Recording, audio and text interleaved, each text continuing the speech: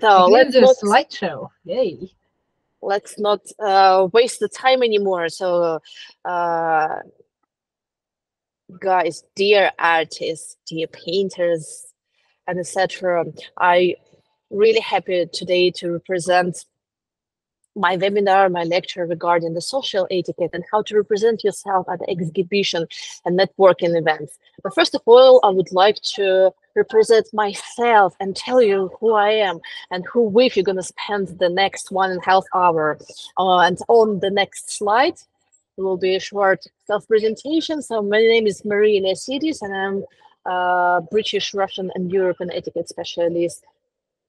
And you can see further all my um, uh, description all about me. So again, let's go further and start with the plan.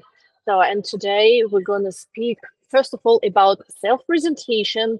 Then it, it will be the biggest topic when where we'll we discuss about how to represent yourself in a social and a little bit in the business um, environment. So this is really the biggest part, and we will be speak most of the time about self-presentation. Then I'll I'll explain to you how to write the business letters and how to respond on them. So basically, will be business correspondence.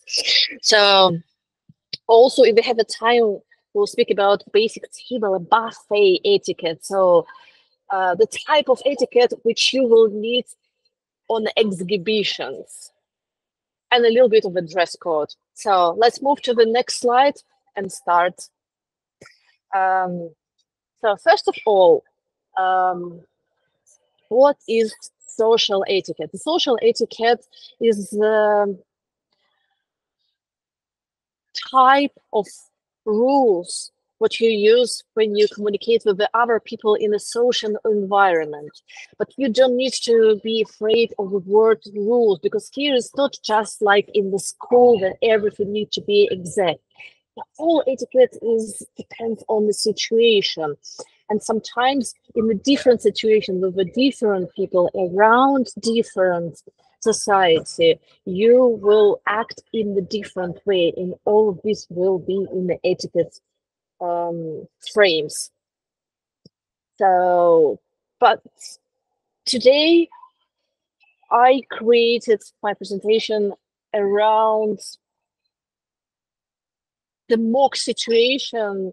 Um, if, for example, you are on an exhibition, on an exhibition um, where you can represent yourself, or you visit the present the exhibition of the other people or just networking around the other people. So first of all, every self-representation starts with entering the room. And we go into the next slide. Yeah, with entering the room, uh, with in Great Britain, it was many different researches regarding of the first impression and the um, most famous of them are two first of all fir first uh, research says that you have only seven seconds for to show people who you are to, to make people think about you anything and the second research says that you have only 0.1 seconds so you basically don't have any time to enter in the room to say a word, to stand or anything. You already present yourself in the first look. So, but the first research, you have a seven seconds. So, so with this seven seconds, you can uh, try to show the best of your of yours. So, what are important things here? First of all, is of course it's a manner of speaking. So your speech always must be clear uh, without any um, words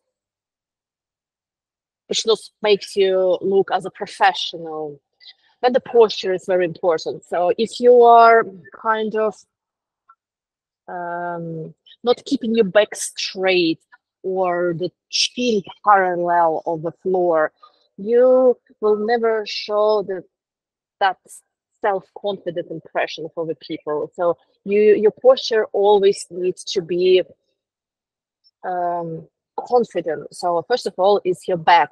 You need to keep your back straight all the time. So I think uh, maybe maybe I will say something very simple or even banal, but um, sometimes you know maybe some, someone of you was in a situation when you are looking to the mirror and you see a very confident and nice person but after networking event you look at the photos of what the photographer made and you look at yourself and you don't see that person. So something changed with your hair or probably with your posture or maybe your hands a little bit like uh, leaning towards and your shoulders. So this is why posture during the whole networking or any event or any exhibition presentation always needs to be straight and i will show i will explain you even one exercise how to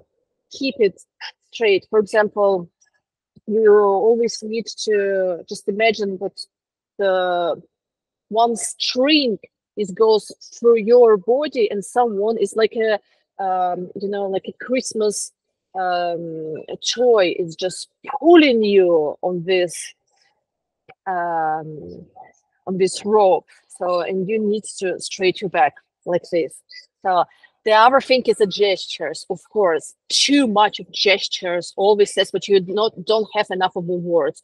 Or lack of gestures are not very good because it doesn't show you as the alive person, as a lively person. Also neatness. You always need to be um straight, direct, and just look professional. And of course even appropriate attire and behavior. I know it's also sounds very obvious but sometimes um, not all people understand um, the way how they're supposed to look for a particular um, event. For example if people go to the morning session wearing glittery dresses, or for example, on the evening event, uh, wearing the linen dress or so. So you always need to make sure that you are dressed appropriately. If you're not sure what you are dressed appropriately, just ask the host or sometimes on the event invitations you will see the dress code if you don't see the dress code and you are not sure what to dress and how to look better. You always can ask the host it's absolutely fine to clarify. So when they go further to the next slide. Also it's very important thing to have the eye contact with, with the other people. So the eye contact this makes you also feel confident. And sometimes people, you know, sometimes I think every one of you was in a situation when you're talking to the person, but this person is not looking to your eyes. Um, send your comments if you're ever been in this situation and how did you feel having it? not really good yeah um so the this is kind of the eye contact is the um, type of a body language. And for example uh, you can read the impression of yours when you are talking to someone. How is the people reacting to you? For example if eyes are open and mouth is slightly open so it implies understanding, interest, and engagement of person to you. For example, if I like this, if eyes are open but mouth is closed like this, uh, it implies skepticism, district of that the person you're speaking is unsure what you're saying Or, for example, eyes can be pinched like this and mouth open. So when the person is thinking, interest in digesting the information. So these and the other examples uh, you can remember or make a further research of the rules of the eye contact.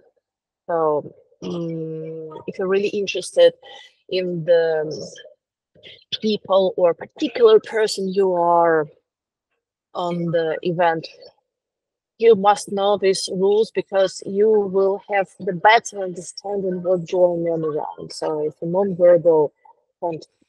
So let's go further to the next slide.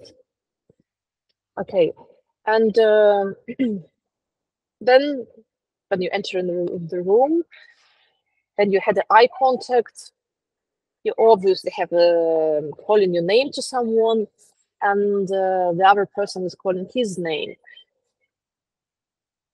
We never remember the names, guys. If it's an event with a lot of people around you, and it's really, really difficult to remember all the names.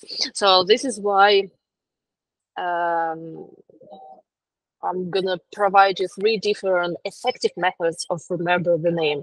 These methods are very famous among all CEOs or owner of the big businesses. So they know this rule, they practice it, and they remember the name. So today I'm sharing, I'm gonna share it with you. So first of them is meet and repeat.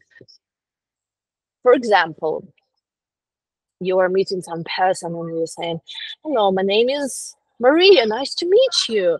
And the other person is saying, hello, my name is Anna, nice to meet you. And you're saying, nice to meet you, Anna. You repeating this name and pronouncing in your mind. So, and just kind of printing on your mind the appearance of a person and the name and pronouncing nice to meet you, Anna. So uh, the next uh, method is to pronounce the name in front of a person for difficult and rare names, letter by letter. For example, I have I used to have a colleague in my uh, the company uh, I used to work uh, in the past, and her name was Zelphi. It's not very difficult name, just a few letters, but still very unusual name. So, and um, for example, if I sort of meet up with Zelphi, but I never met her before, I'm going to say, hello, my name is Maria, nice to meet you. And she's going to reply, hello, my name is Zelphi, nice to meet you.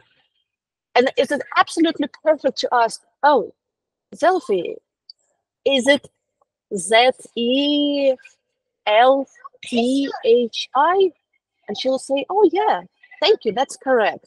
So this rule works only for the difficult names. This is why all people who have a difficult has a difficult names, they always know that people forget their names.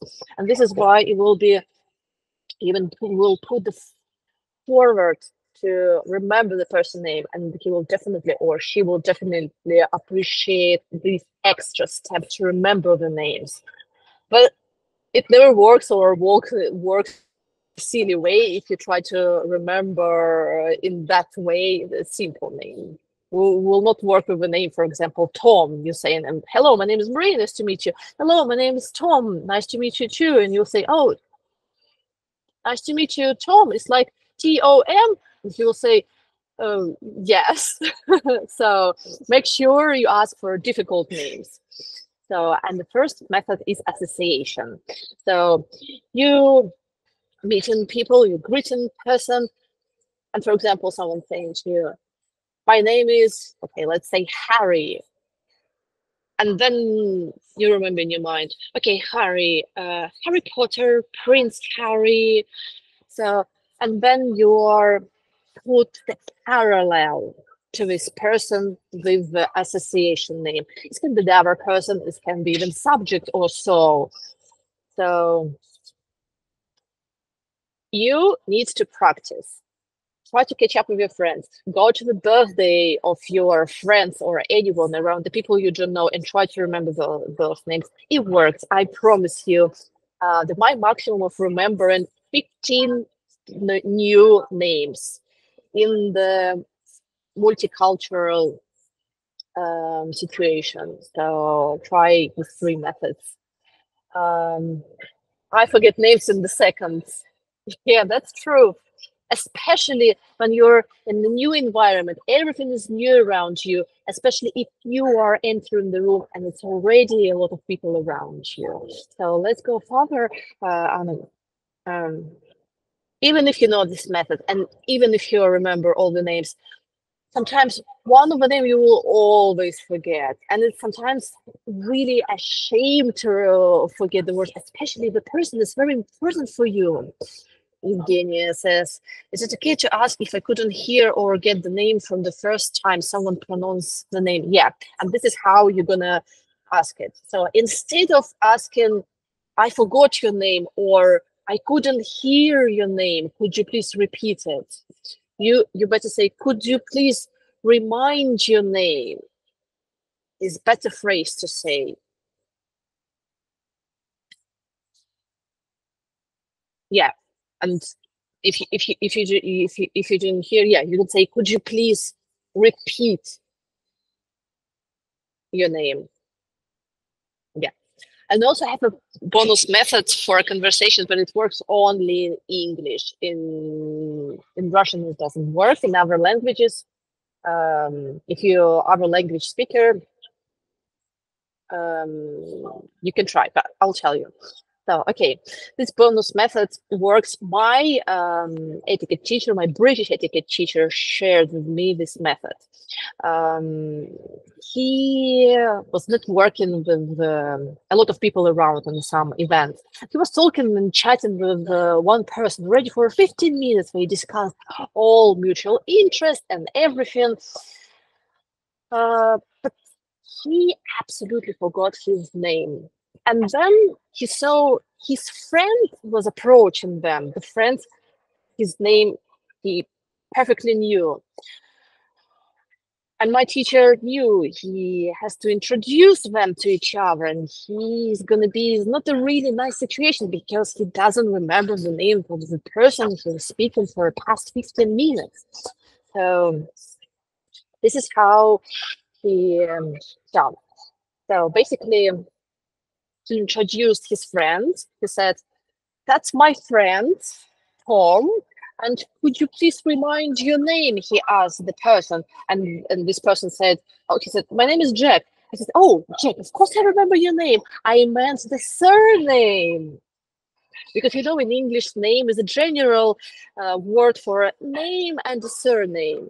So, and he kind of said what he meant the surname, but he na- meant the name because he forgot the name. So this is how it's introduced in an official way.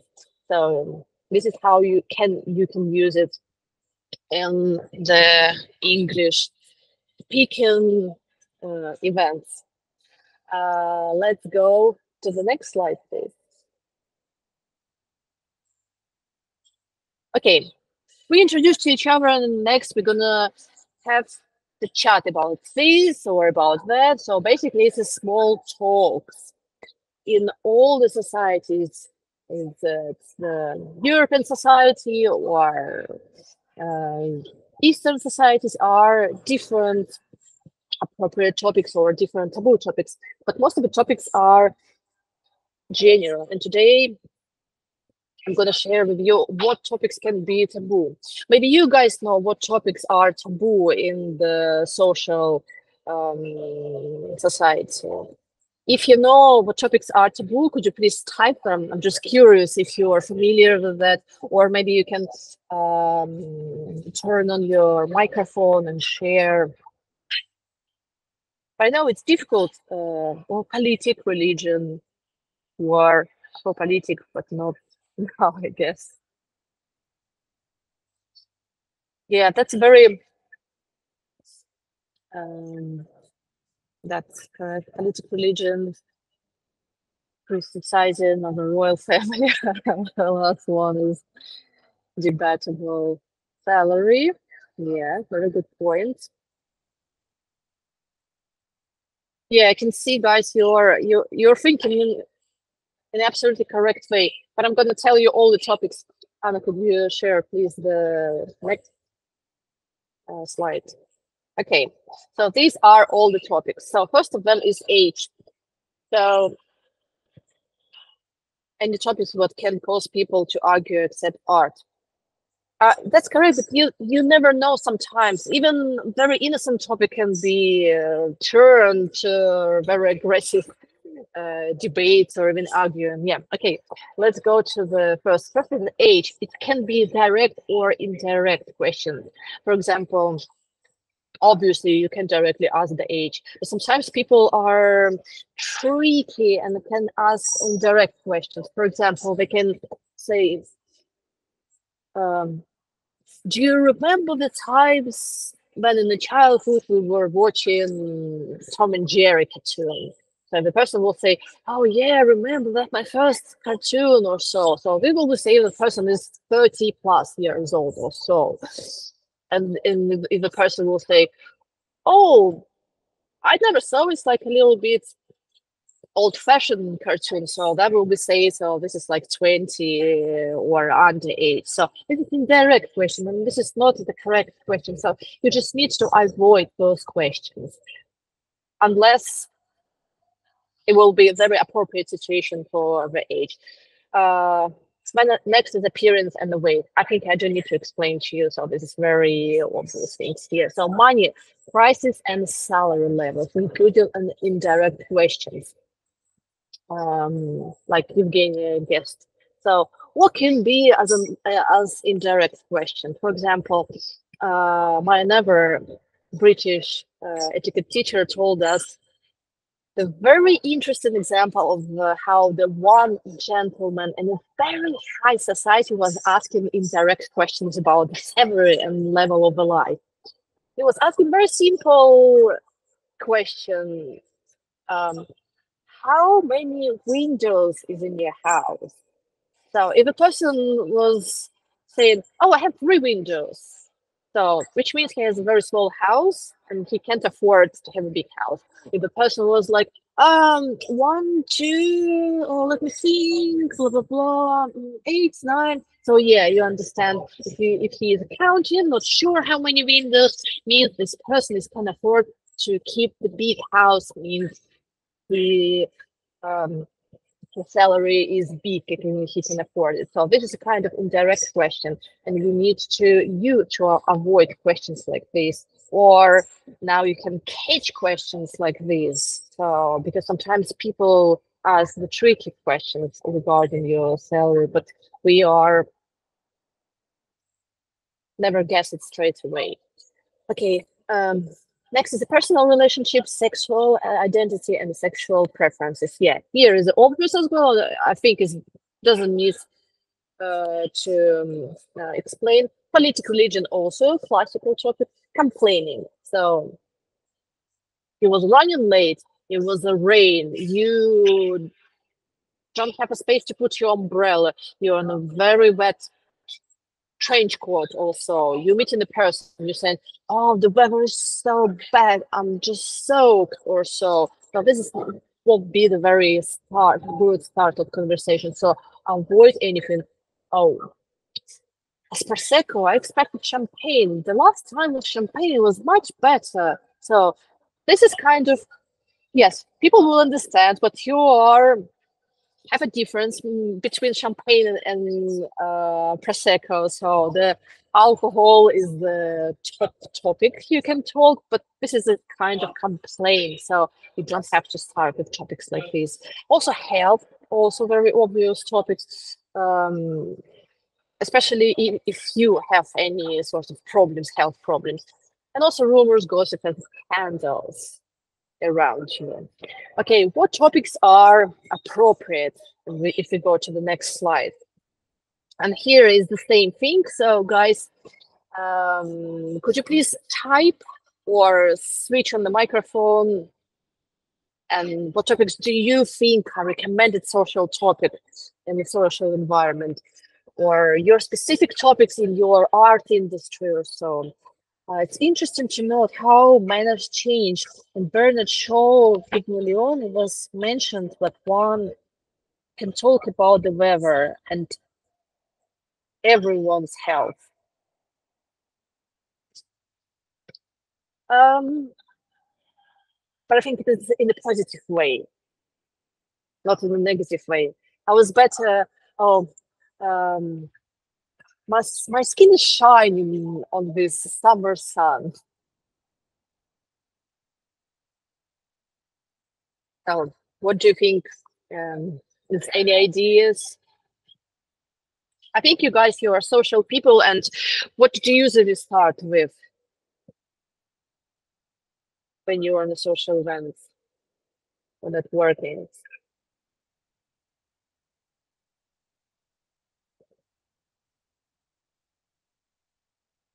Weather. Okay. But here you also need to be careful because anyone around you can be a potential potential client, especially for for the long term relationship. Um, where you can talk about the current event, uh, the cost, with recent events and exhibition. This sounds very good. Hard work as long as the exhibition open. Yeah, sounds good. Okay. Um, Anya, could you please uh, jump to the next slide? And we'll see. Mm -hmm. Sure.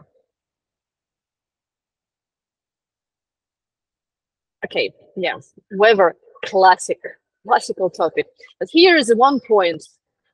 Um, I personally would not recommend you to start with the weather with every single person, only because the weather is too obvious topic. Because sometimes if you start with the weather, at least in the British society, maybe even even in European, in Russian, in Slavic society, it will be better if it's even will show you um, even more polished way of beginning the conversation. But in the British society, sometimes it's a little bit um, too simple to start the conversation because everyone, every single person knows about weather. So it means you read somewhere about this weather and you have to start with the weather and nothing else you know. So it's kind of like basic package. This is why better to start with the other topics. But sometimes if the weather is extraordinary today, for example, if it's like let's say July and it's snow in July, or plus 20 in London in December. So this is in this situation, you, you yeah, yeah, that will be um, absolutely fine to start with. In our situation, let's try to start with something different. Mm, where else we have complementing the details of someone attire. Um, yes, but um, when you continue conversation, not not as the first words. So okay, so one of them is traveling. It's also not kind the number one first conversation, but you can you can start, for example, um, oh, you look very yeah, you look very tense. Did you travel recently somewhere? And the, the person will say, oh, just got back from New Zealand. And, and you can start, oh, New Zealand, I was dreaming to go there. Tell me more about it. It's very interesting. Or, for example, you can say, um, I'm planning to have some two days getaway next weekend. Do you have any recommendations? And the person will say, oh, like Novi Sad is probably the really good sea town to to get, or Brighton, the seaside, if you speak about um, British towns. Uh, next is your surroundings. So it's people around you. You can you can say um, the person, "Are you alone here?" And you can say, um, yeah, basically I'm alone, but I know a few people here. For example, this person is my friend, and you can point someone and say, we know each other for many years, and then continue the conversation. Then next is a general cultural news. So here we're not discussing political news or economical news. News. Here we discuss more something again if it's for you, if it's art exhibitions or the news in art, for example. So what do you think about the London Frieze in 2024? What painters do you expect to be there? Oh, then next is the mutual friends. You, if the first, it will be the host. You can ask, how do you know the host? Oh, you used to study together in the art school. That's interesting because she was mentioning me about the few students she was in a good relationship with. Probably you are one of them. So this is how you can start. Then children, but here is a very red flag, but it because it's optional. So in um, the European society, you only can start the conversation if the other person mentioned children, for example. He said, Oh, I'm here with my children. They are 14 years, they are 14 and 16 years old, and they are just in the other room. And you say, Oh, children, that's good. And my children are blah blah blah if you get them. So, but you never start of asking for children. But this is doesn't work, for example, in Eastern culture, especially in the Arab culture. For example, for them, it's top three questions they ask as the first topic. So, and if you will will be talking to someone with uh, Arab roots, or you probably will be somewhere in Dubai or other countries, and they start to talk about children. So that's fine. So this is very cultural thing. And the last but not least is the sport, of course. For example, in Great Britain, sport is a very big deal because um, Great Britain is a very country where we like to play different types of sport. We like to watch sport and etc.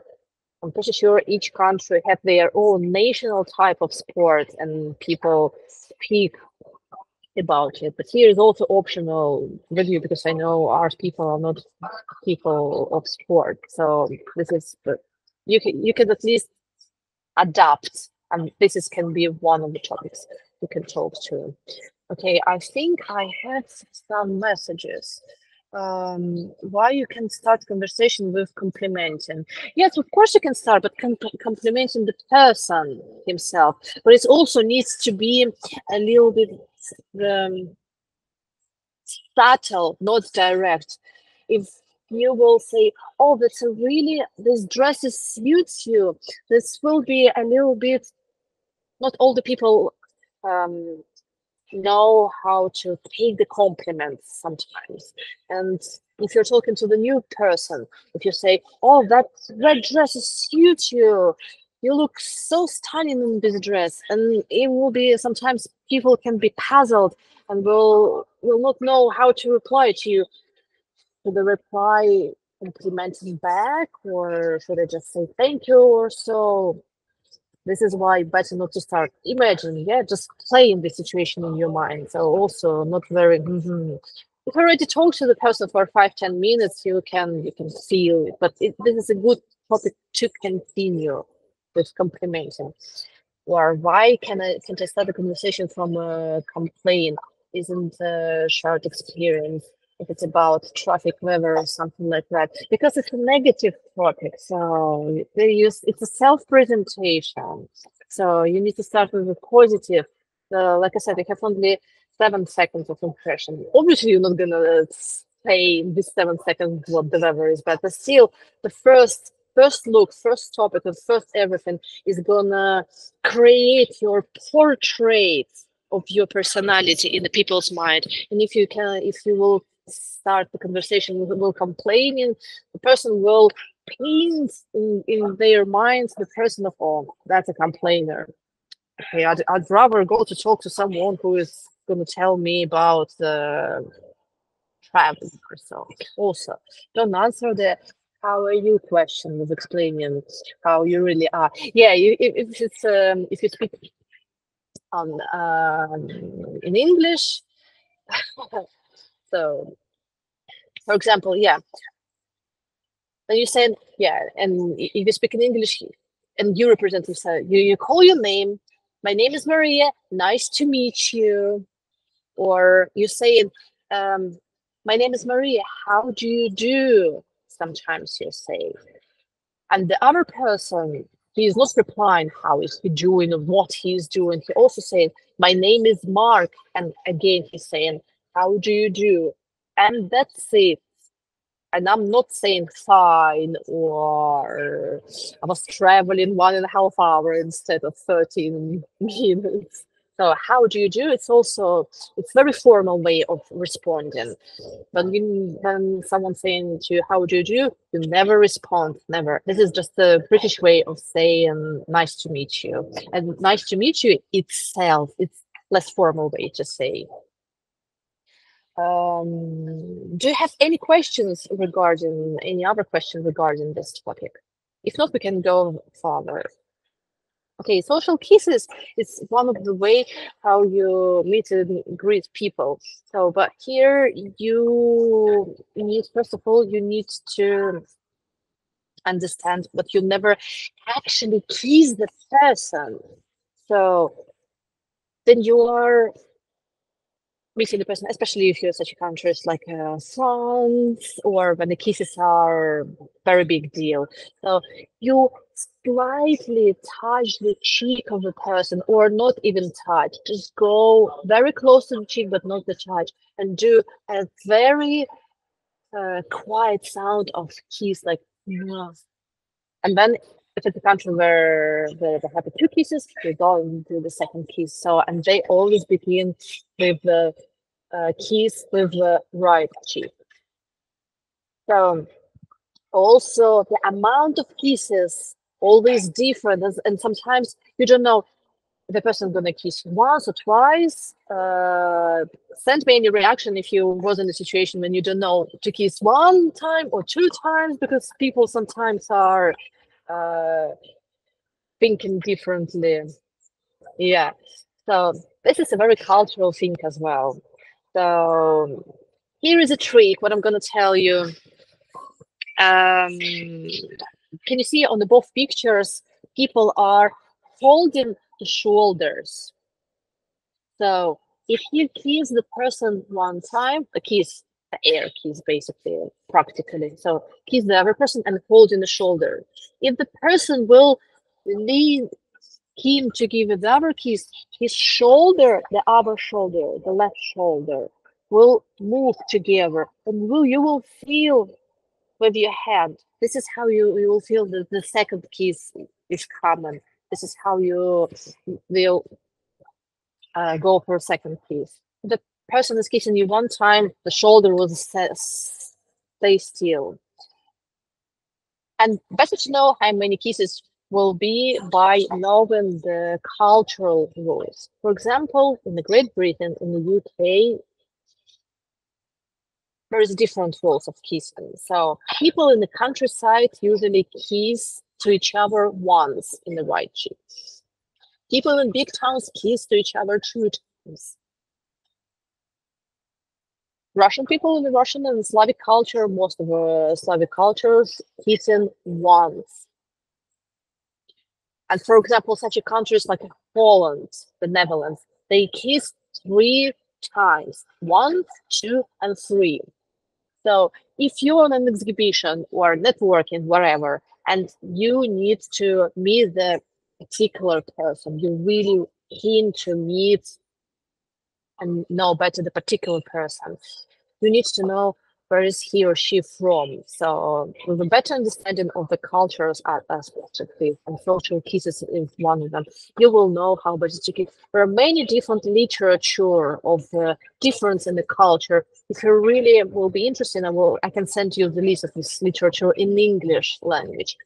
It's very easy to read. It will be like for example, Greece and all aspects of how to deal with Greek people. Next page, like Albanian people. Next page, um, Swedish people or so. It's very interesting. Okay. Um, at Serbian, Sava was kissed triple times, Slava.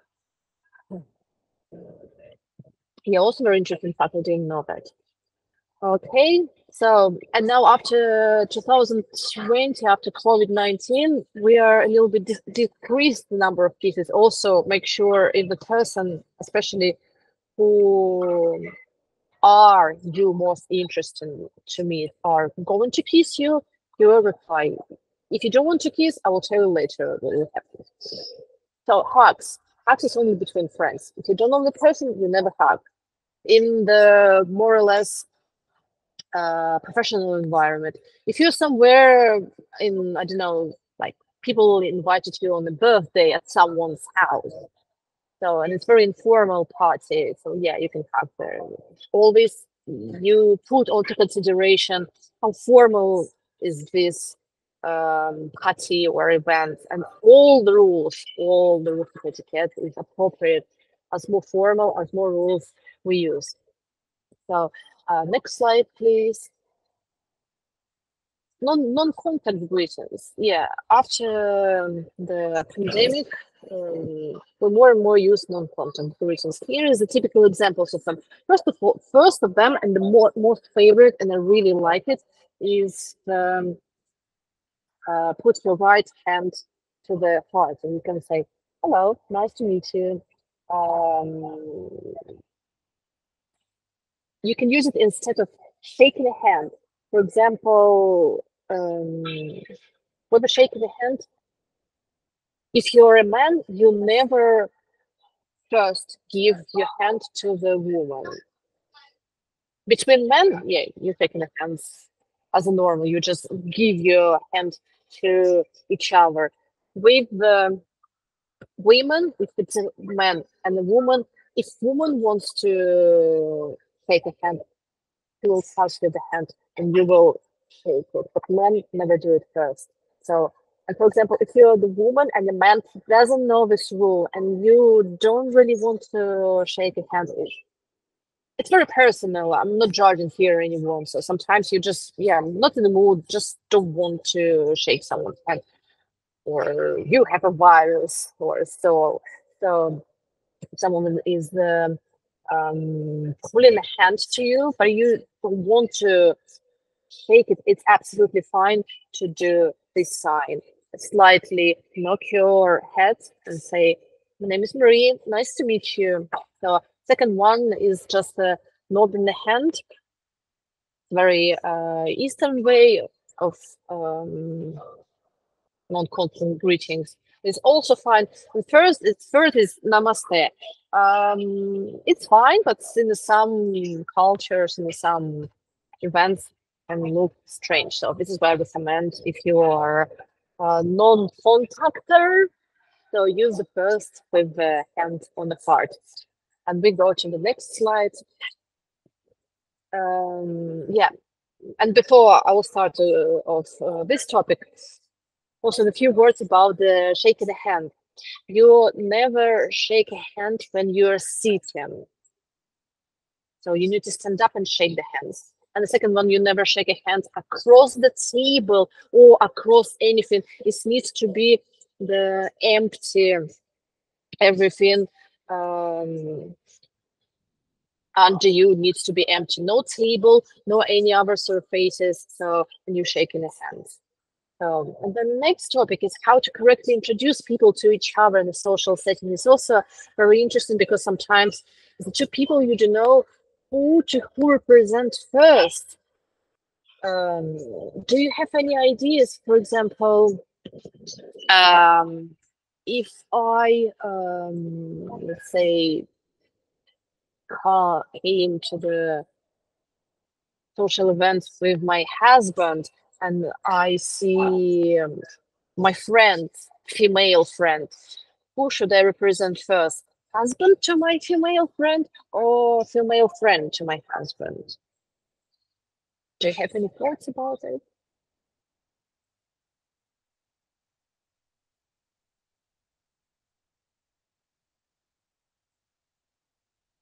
If someone approach me and my friend, I'll introduce a friend to approach him first. No idea. Good points. And then the next slide will be the answer. So here is the formula.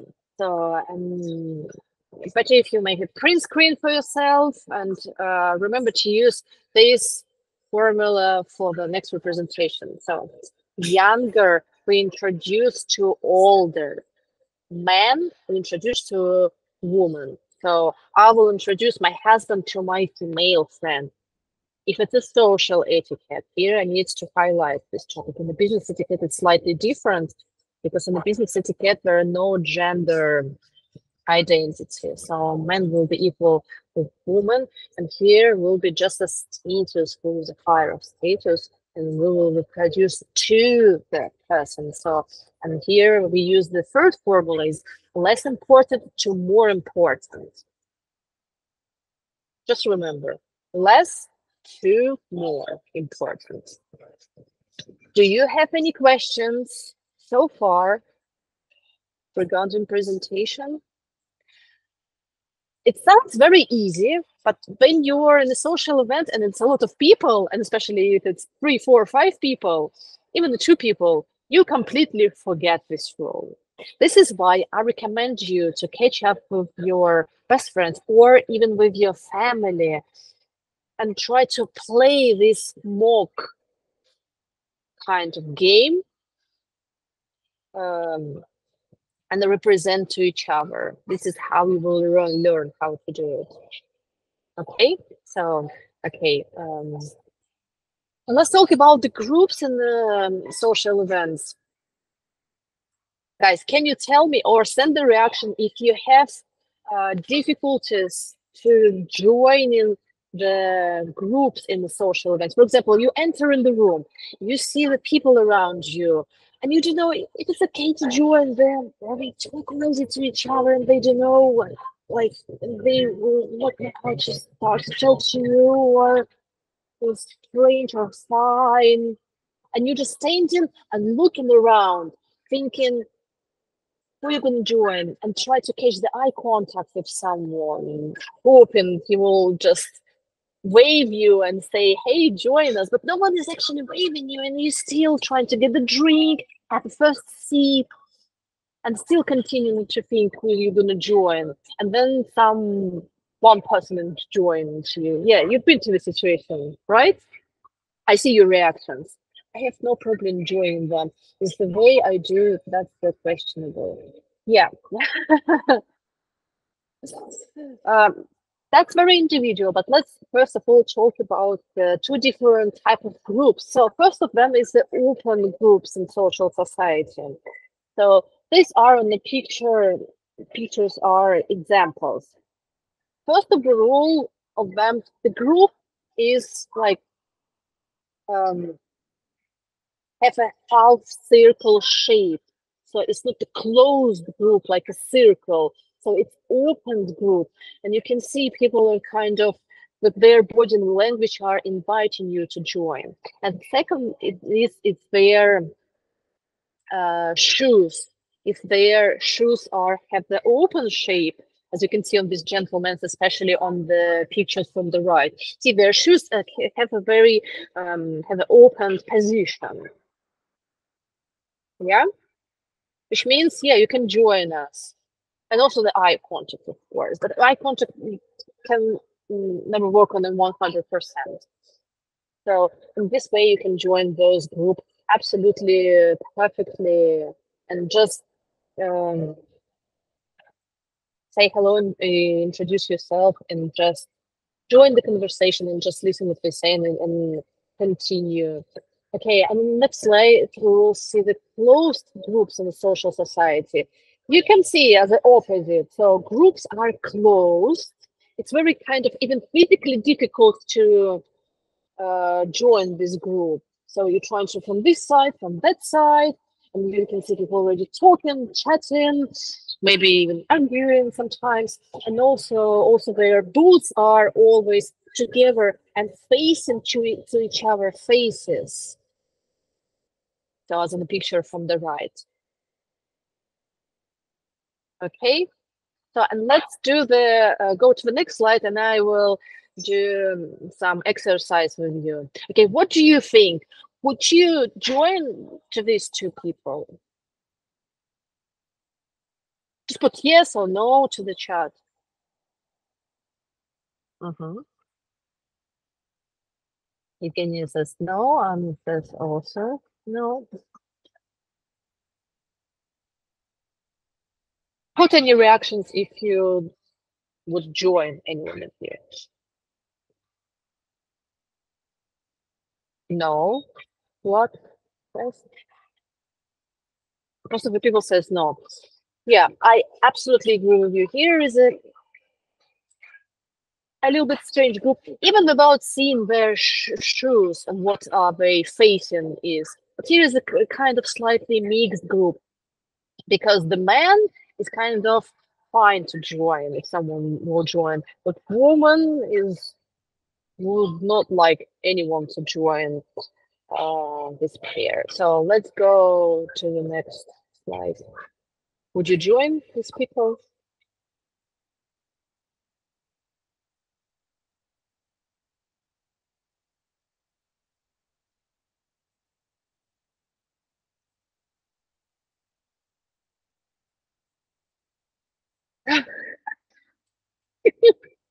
Evgenia. they seem as politicians. No. What? No. Again, send the reaction if you if you easily join it. Probably not, but I could try to ask them to let me go.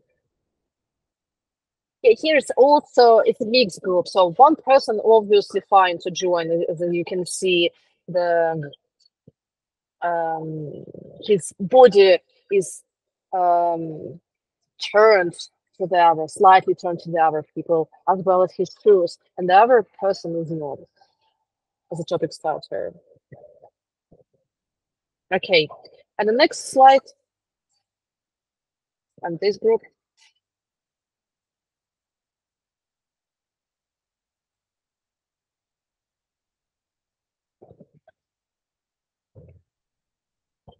And for all people who will be watching this webinar and the recording, you just pause it for a second, have your opinion, and then continue to watch.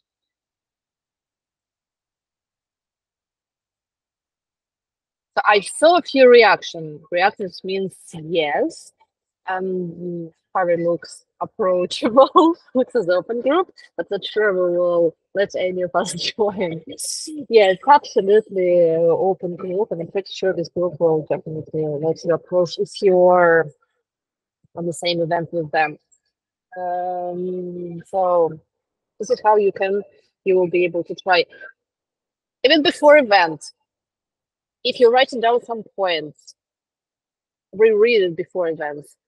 If you have this uh, webinar in recording, rewatching or re releasing. So, and you um, will remember and you will notice these small uh, points on an event. So, okay, let's go to the another, another um, slide. Okay, also the one important thing what I wanted to mention you is a high context and low context culture. Um, before I start um, studying etiquette as uh, in a professional way, I never know what's that, and I never split cultures in the different way but cultures are different and uh, need to be treated in a slightly different way and especially if we know um, what it is. For example it's like it's very different different um, way um, in which we achieved um, the way we approach um, culture.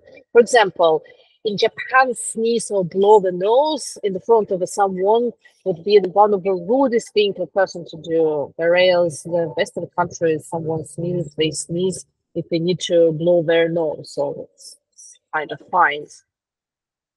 Um, and um,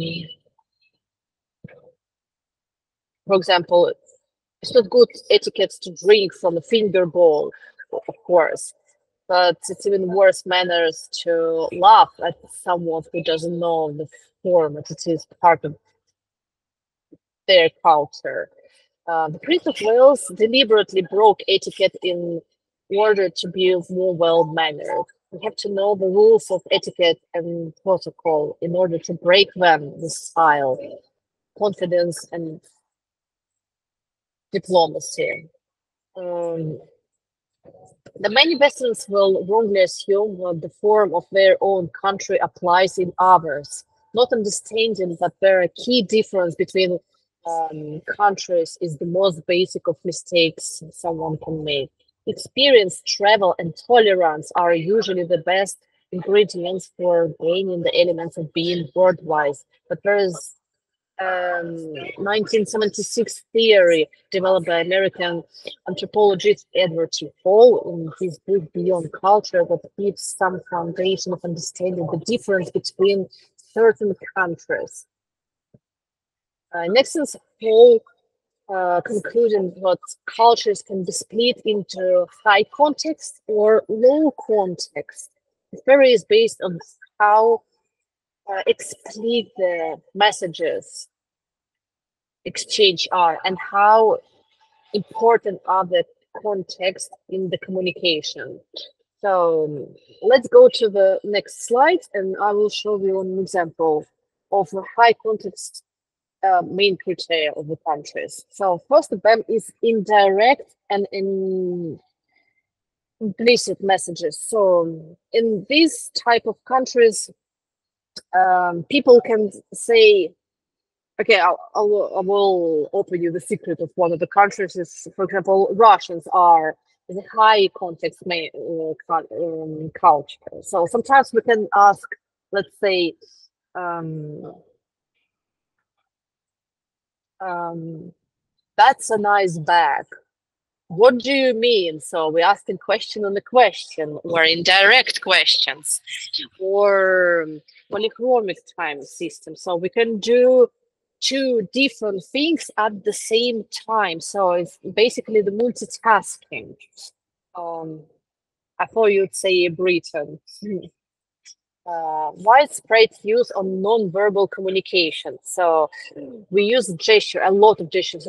That's so big painting. So it's with a lot of emotions.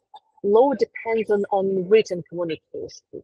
For example, if you're gonna catch, catch up with something, okay, let's have a meeting tomorrow three o'clock. Deal? Deal. So we're not putting the message okay i confirm we're gonna catch up tomorrow 3 p.m we're not putting writing so we're just pronouncing and that's it.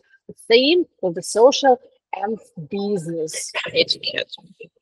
Predominant use of intuition and feelings when making decisions so, so the feeling arts or it's many other countries not just russian culture so when you make a decision, oh, feels like I just feel I need to start this business. I have my intuition rather than calculation, the analytic, and the other more direct aspects. Long-term relationship. If we speak about business, okay, let's let's speak about the painting business. For example, if you have your customer who you always have some, let's say, portraits, and you have a price of, let's say, 1,000 pounds. But after a few years, you increase your price and your artwork already 1,500 British pounds. But you have a very long relationship with this customer and you still will say to him, give you 1,000 pounds. So you will rather keep this relationship, but not increase. So um, relationship in general come first, second to time frames and schedules. So here is about to running late. For example, if a person is running late 15 minutes, 20 minutes, one other the people from high context cultures I will never pay attention to it. So they will never judge people. They will wait, and when we meet them, we will say nothing. Maybe we will fix something like you don't appreciate my time. We will never say anything. And strong difference between insiders and outsiders. So we understand who is our people, are not our people. So, and then the next slides are the list of the high context cultures.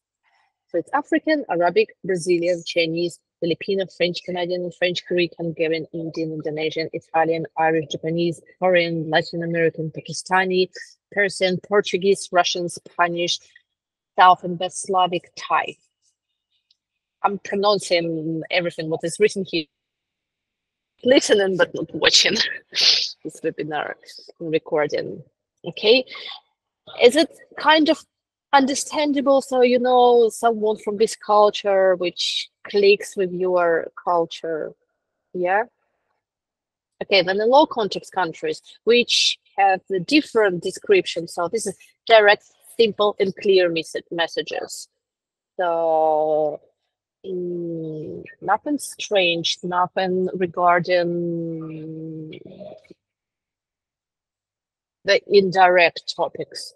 So monochronic time system. So I'm busy now with this task. Could you please call me back in one hour? I will tell you or something like this. Infrequent use of nonverbal communication. So these people are talk, just talk. They're open their mouth the speech is their their number one priority. Priority of written communication. And basically here is the, um, mostly about the confirmation of something what was pronounced verbally. So these people will every time have the written confirmation just in case they can provide you with information use the facts or scientific evidence to make decisions. Here is the opposite of the intuition and feelings.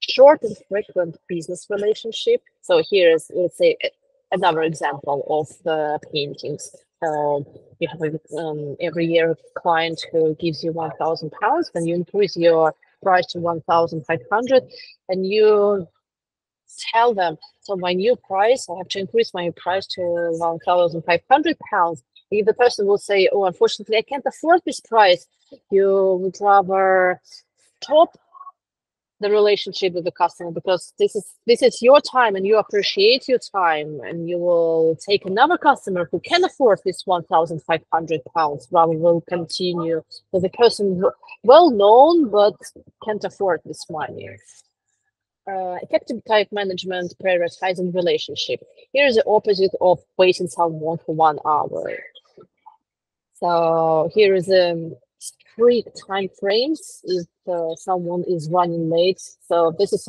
very will be bad manners. This person probably probably wait for you or will leave. But this is definitely will be the last meeting with you if you're running late, very late, especially if you're never um, informed person that you're running late. And other think about running late actually it's not um, regarding low context cultures just like just remember if you're running late for each minute you're running late your message you are informed person and stay in two minutes. For example if you're running late five minutes late you say i'm going to be in 10 minutes if you're running late 10 minutes you say i'm going to be in 20 minutes rather than in the opposite way and also the last criterion and a lot of context culture is open and flexible. So these people are never pay attention or, uh, oh, this is my brother or brother of my father. This is why I will prioritize him. So they are open and flexible for all types, uh, minority, genders, and anyone. Okay. Do you have questions about it? so far? Okay, and here are the um, cultures. American, Australian, Dutch, English, Canadian, English, Finnish, German, Israeli, New Zealander, Scandinavian, and Swiss. So, did you ever have um, any type of relationship, business, social, friendship, uh, or any type of relationship with uh, opposite um, context cultures? If yes, can you share and type? Was it difficult? like do do you now understand what's probably when you have a misunderstanding of something it's not because the person is stubborn or not enough open minded or something it's just because of their context of their culture. And you absolutely need to put onto consideration especially being on event and understand for example if you're you are from high context cultures the people around you can be from low context cultures and they're slightly different and you need to find the approach to these people and knowing this information will be much diff- much easier. I'd say that regularly uh, uh, english people who are quite indirect. Yeah i understand what you mean Anna. yep i try to adapt um, to more low context culture because this fire being raised in Russia, I find it that uh, yeah, I agree with you. Okay, let's go to the next slide. Ending show. So here is more about um, how to look confident, basically physically how to look confident. So here is about how standing tall, standing tall, how to standing tall confidently. I already was saying about the, your back, yeah, but first of all, it's the shoulders. Your shoulders always needs to be opened.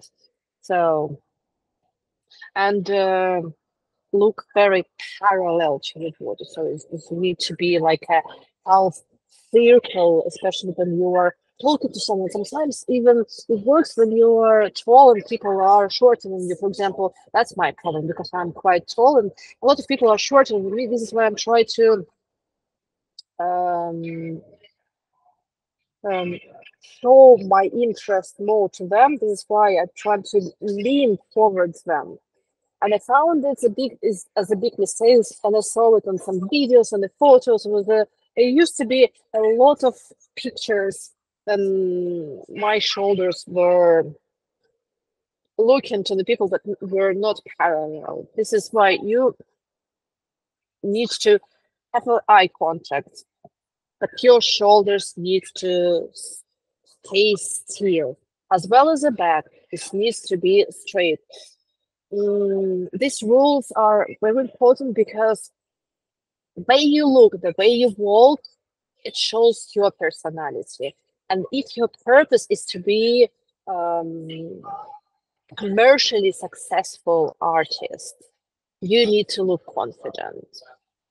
So as well as the eye contact, eye contact always needs to be direct.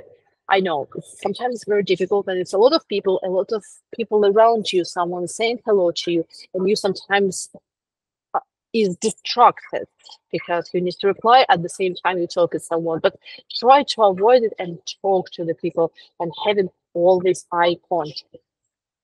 Also, the chin is very important. Look, as my chin is um, moving in a different way. If I will talk with too high chin, it will look um, a bit of like a selfish person. Or if my chin will be too low, will look like um kind of pretentious person or even unconfident person. So the chin always needs to be parallel to the floor. This is how it shows your confidence. And on the picture is the Princess Letizia.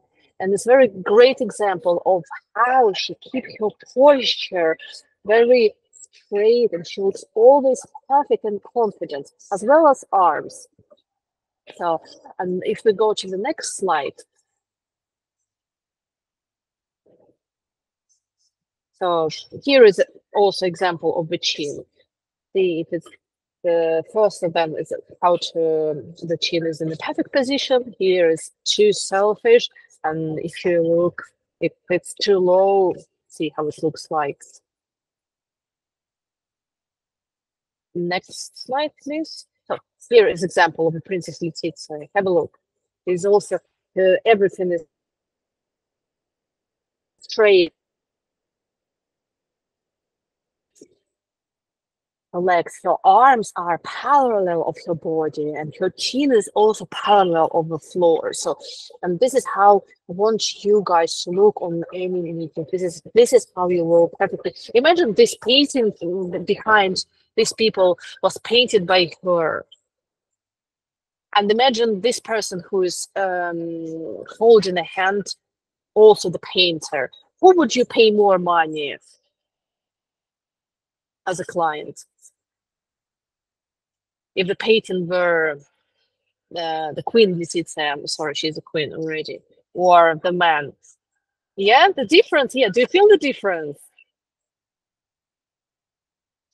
Um, one of the girls I know here in the UK, um, she is a painter, and she is always painting her uh, paintings wearing a dress and not like some random dress from H&M or mass market, like proper um, kind of um, I would not say the luxury brands, um, nice brands of clothes or uh, dresses. And this is how she represents herself as. This is how I feel my confidence, and it's prints onto my paintings as well, my confidence, which I create from my look and from my mood. Okay, let's go to the other. Okay, another example, the other slide.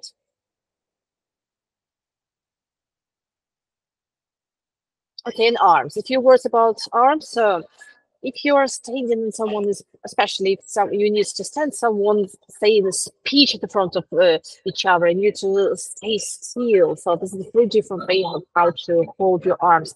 First of all, is closed in the front like this. So the arms are you standing and you close in like in the um, lock like this in your arms, standing like this. If you're not holding a glass of something or so. Second is a closed back like this. That works very good for a man, especially the um, Prince Philip used to like to do uh, and holding his um, hands closed back. But it also works for if you're like lady but wearing a suit. But if you're in a dress, better probably close at the front. And also on the sides, it looks perfectly like on the picture from the right hand side. Okay, let's go to the other slide. So here is position which is very popular, especially on the different types of CV or so. Um, the, sometimes people think that it shows you as a confident person, but unfortunately is not uh, 100% correct because this person shows shows you as like you're um, it's a closed position, it's a negative position.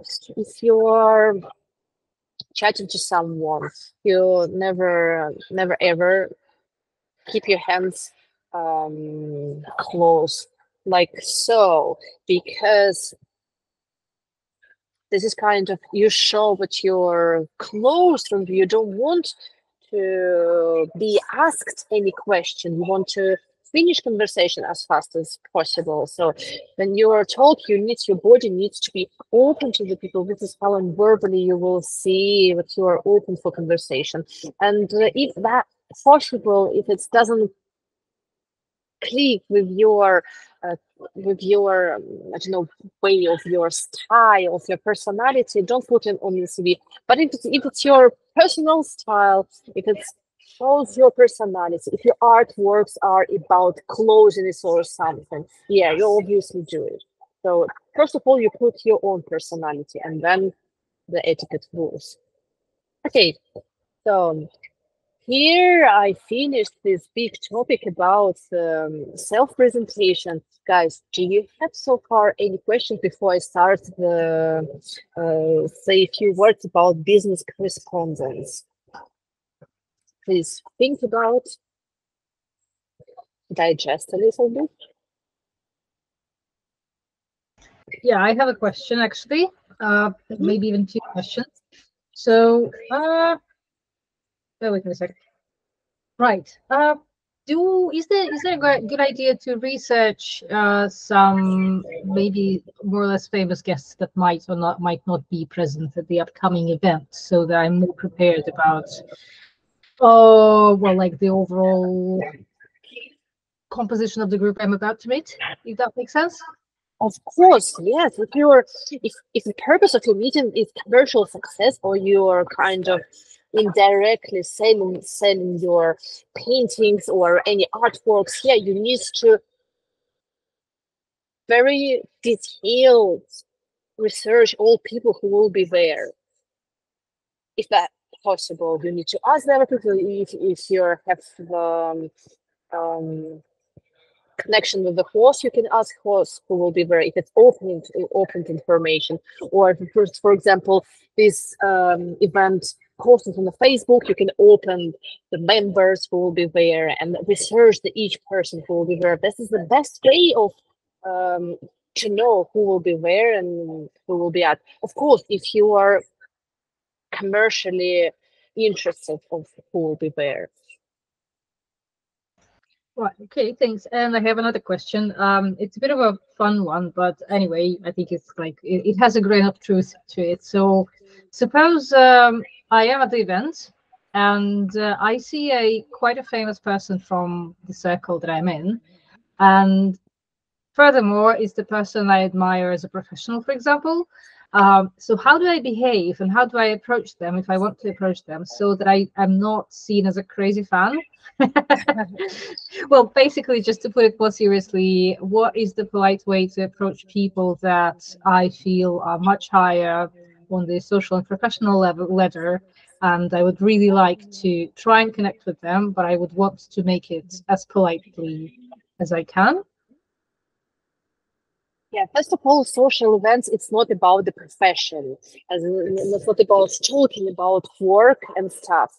Uh, this is why you just approach a person and you're talking to one of the appropriate topics. You never mention the, oh my God, this is you, or I heard about you, many things. You're talking as if you never meet this person. And then if he or she mention anything about it, you can slightly sound, oh, that's very interesting. Oh, now I remember where I saw your face. Oh, nice to meet you. I'm, I'm really glad I, I met you in person. So this is how you speak in that way. But in the social events, you're it's also um, speaking about profession or asking about profession. It's also the question about money, about salary. This is what we were talking previously. You never mentioned or so. Yeah. Do you more or less understand how smoothly uh, move to this way? Yeah. Yeah, that makes sense. Thanks. I think Zhenya also has a mm -hmm. similar question. Uh, if there is a sense of having already some topic starter phrase and using to start a conversation, and how to stop a conversation if you don't want to communicate with someone.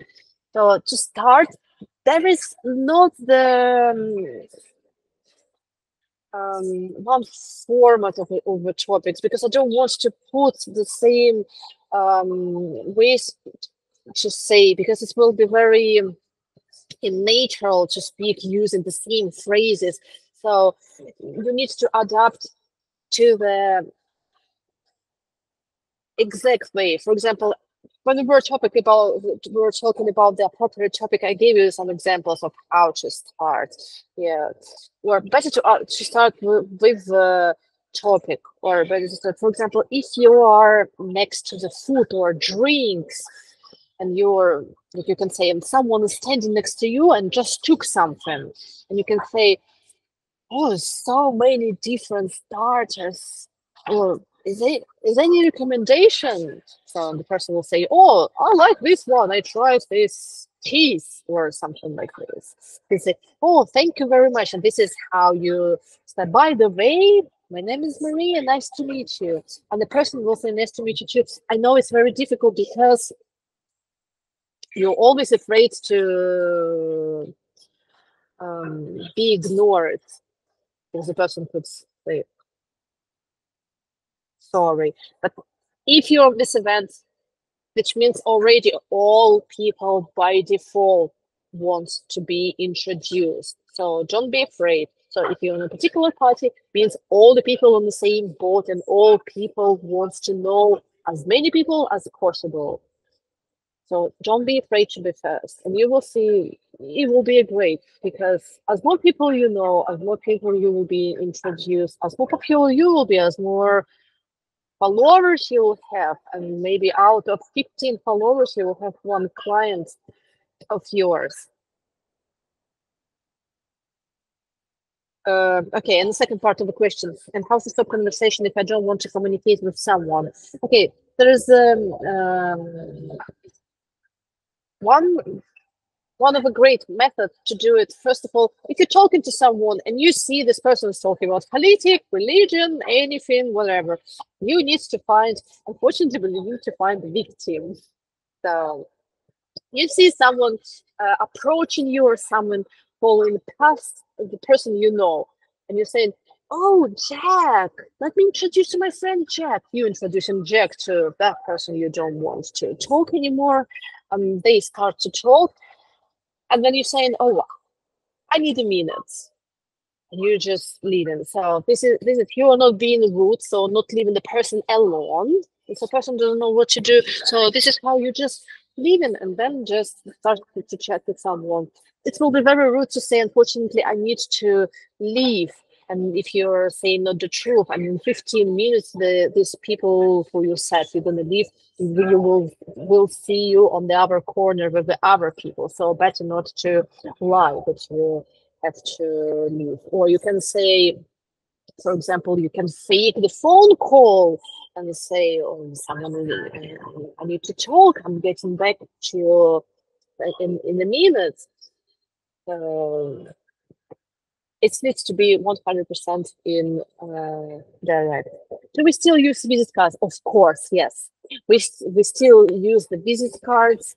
We, we still passing them and visit cards we pass uh, with the name facing to the person, not to you. So turn the card name face to the person and give with your right hand so in the Eastern countries such as Japan or even China, you pass in the card with two hands, just like so. So this is how also the difference. This is why this literature and just the basic rules of knowing the difference between culture can will play positive towards you because if you will speak to someone from Japan, you will pass the card with two hands being in Europe, this person will 100% appreciate this gesture, will definitely put you tick as a special person.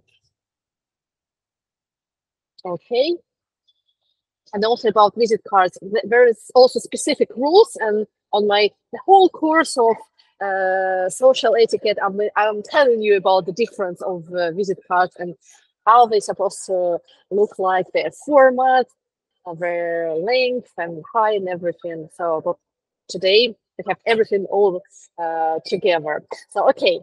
Um, if you have any other questions, just type them and now we'll continue with the business correspondence because we run out, out, of the time. So, everything else will be more briefly because the main topic we already um, because the speaking um, conversation, more conversational moments are the most important. Okay, the business correspondence is also very important because the way you're communicating in the um, writing also shows you as your personality, as your professionalism.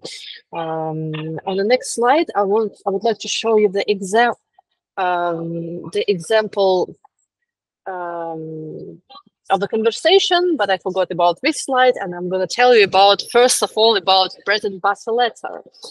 So, is any one of you knows what is bread and butter letter? Uh, send any reaction if you know. No, I can see only um, what you don't know. Okay, bread and butter letter. Basically, this is the short um, message or email of appreciation of a person. For example, if you invite some people to your exhibition and you see all people who attended it on the next day, it will be very nice gesture to send the email or message, at least message to each of them saying, um, hello, Evgenia. I was really happy to see you yesterday. I hope you enjoyed the exhibition and spent a really nice time. I met a lot of new people. Many thanks. Okay, this is a bread and butter letter. If you invite someone on your birthday and uh, people attended on your birthday, the next day, um, hello Anna, it was really nice to see you yesterday on the birthday. Hope you liked and enjoyed the birthday and cake. Thanks, Maria, or so.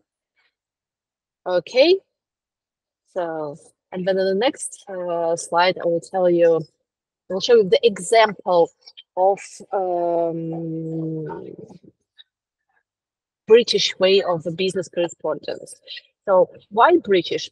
First of all, because I live in Great Britain, but secondly, but most important thing, because British business correspondence is the most formal correspondence among all I ever met in my entire life. Even the European way of um, sending emails are less formal because we just basically say um, hello, maybe how are you, or something like this. If you we know the person, then the general topic and thank you or the kind regards and the name. But in the uh, British correspondence here is a little bit more complicated, but on the next slide, I split this um, email to a few different topics. Here will be a few words in Russian because I prepared it previously for a Russian audience. So if you don't speak Russian, ignore everything what highlighted in uh, yellow or yellow. Okay, so here is a, uh, six different points. So first of all, is pre presentation. So you say, um, so first of all, I would like to say this is a real email I received from uh, some um, um, online store. So basically, I needed to make a return, and I somewhere lost invoice, and I just asked them to send me invoice so I can I could print it, and uh, they got back to me with this email. So, and I found this email as the perfect example of the British way of um, business correspondence. Also, post this as an example. If you will be sending email in a very formal way. Again, be adaptable. Um, try to chat with the people in a different way. So if you see a pe person is a casual, so you write down also email in a casual way. But if you see someone is very, or especially if it's for if it's a like commercial order for potential commercial order for commercial organization. So this is 100% the way you need to uh, chat. So, okay, secondly, you need to say the words of a thank you for contacting me or um, something like classical way, I hope you're well. And I know in the internet, it's a lot of uh, jokes regarding this way. I hope you're well, not a way, and it's a very bad way of because it's very standard. But if you don't know the person, if you never chat with them, so this is absolutely fine to say, I hope you're well. If you already know the person, if you met them, you need to a little bit customize this phrase. Instead of saying, I hope you're well, I hope you enjoyed the networking last week. I hope you'll spend amazing time on the exhibition or so, or I hope you spend a really nice weekend in Sri Lanka or so. Somewhere, if you know what, what happened, the person mentioned it before. So, um, then the next point is, oh, I put two times two, two, two, okay third point, which which mine is first, is also you are here. I'm first. I'm so sorry. This see on, on this example, the person who is responding to me, the customer service specialist, they say, "I'm so sorry, but you're missing your return paperwork, but you missed your invoice." They are so sorry. It doesn't mean the person is say, sitting on their at their desk and really sorry, crying, worrying that I um, lost my invoice. But this is the way of uh, formal communication. So if it's something negative, you can, express your kind of politeness uh, by um, um, saying something like this, or you can say, first of all, I'm really glad that you attended an exhibition. First of all, I, I'm really glad that I met you. Or first of all, and adapt for your purposes.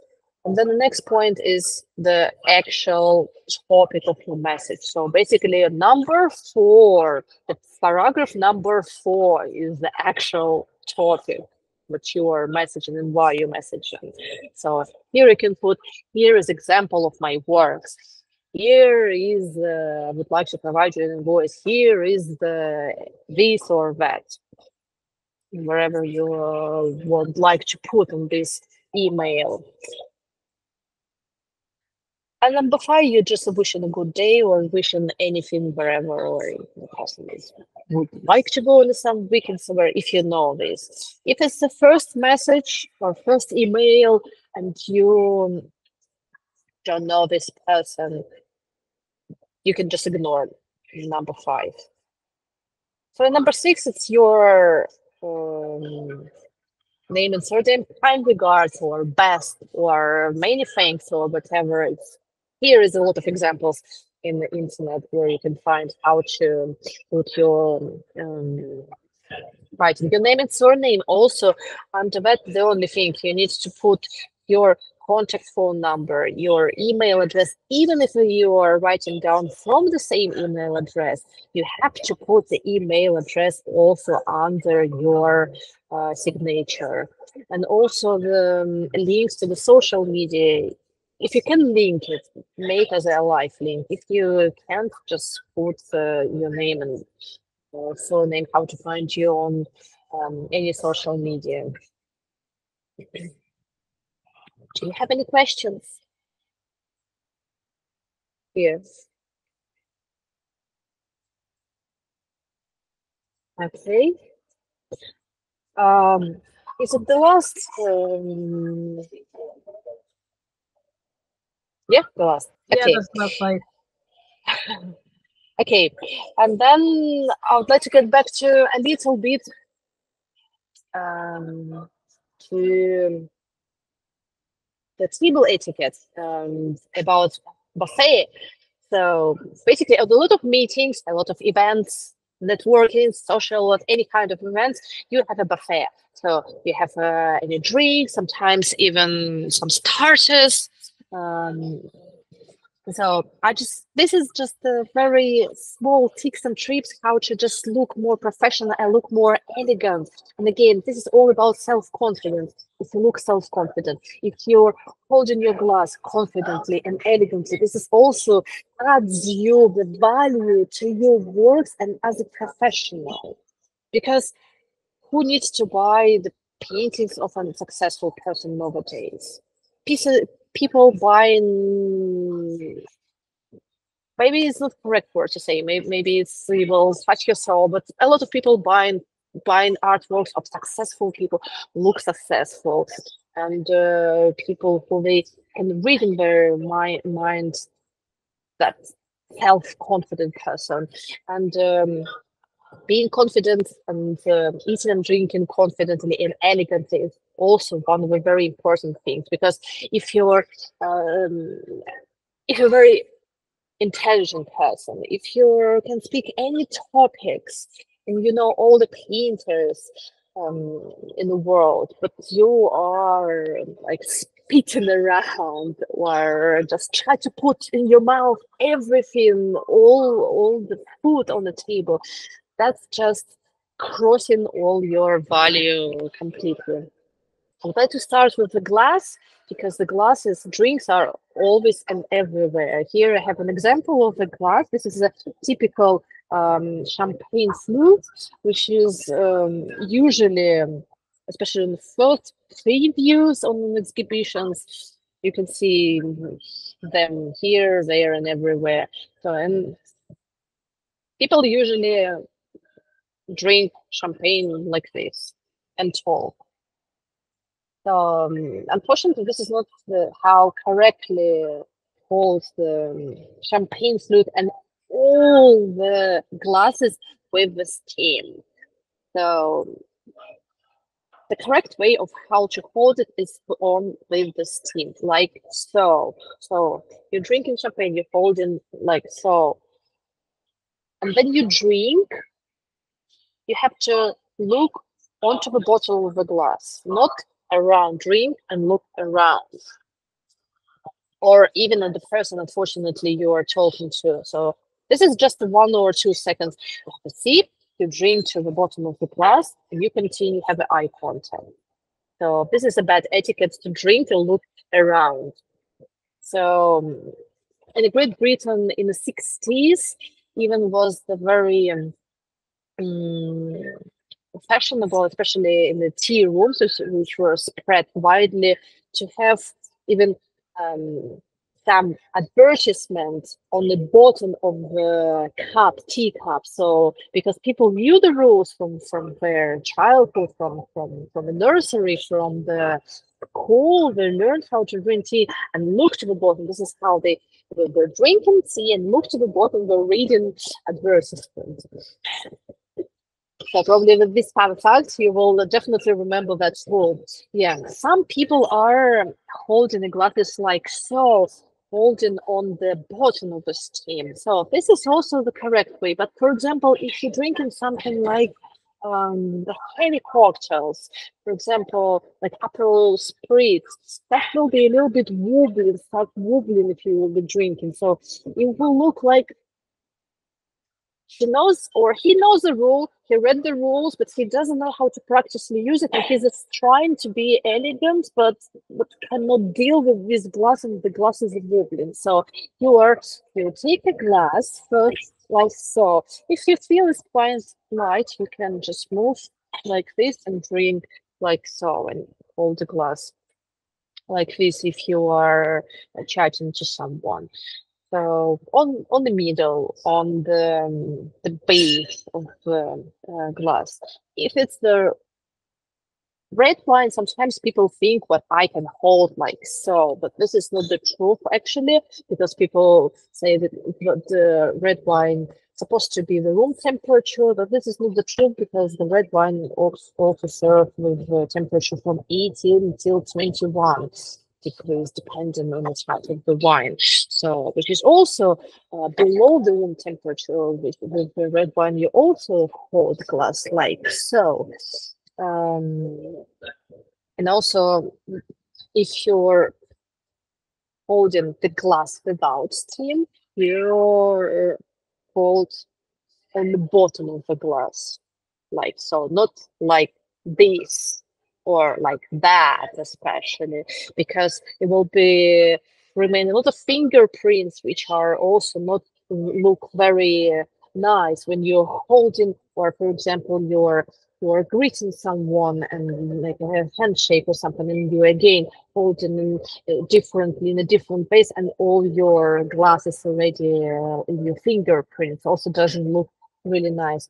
Also the rule for the ladies women if you're wearing lipstick so and if you're drinking from the glass um first of all try to keep your lipstick um, which not prints the uh, lipstick from from the lips. So you just um put like a tissue or just just use the um, very good, good like a tint or so instead of an actual lipstick. So, but if you forgot about this rule and if it's the um, color of the lipstick glass, try to drink from the same side all the time instead of drinking from all the sides and well, the whole diameter will be covered in the lipstick uh, regarding the starters and the food you eat in. So usually it's something served the small bites, something on the one bite. And it's very rare when people serve the plates, the small plates for starters. Usually they just serve nothing. And instead of just taking something from the plate and putting onto your mouth, you first take the paper napkin, put the starter from the serving plate onto the paper napkins and then eat. And you have to take no more than two different types of uh, food once onto the tissue. So, and then eat them um. So this is a small rules uh, regarding the table etiquette. And and yeah, I think it's very obvious, but still I have to say that if uh, you um, talking to someone, have very small bites because if suddenly someone will gonna ask you any questions and you are showing, that's not gonna look very nice. So, okay, do you have any questions? Yeah, there's a question in the chat. Mm-hmm. In Belgrade, we often have plastic cups on an exhibition openings. Where should I put it after I finish? But can't see a trash. Yeah, that's a very good question. So as better glasses on an exhibition as more formal and there's more expectation from the host of how to roll. If it's a plastic glasses, means it's a less expectation from the host of how to deal with this. So if you're a very cultural person and you are think but it's not really good to put them and it's not trash anywhere around, you just go to the ladies, which is the toilet in a uh, very delicate British language. So I'm just put them in a trash toilet. If you are fine with that, you don't really mind, you just can put it on the corner of the table because, like I said, if the host didn't prepare the trash and didn't prepare anything, so he doesn't have an expectation of being a perfectly um, person who is gonna um, follow all the rules. Do you have any more questions?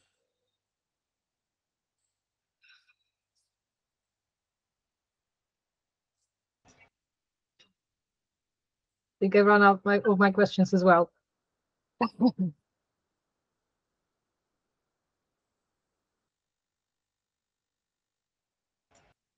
if nobody has any questions, shall we slowly but surely wrap up?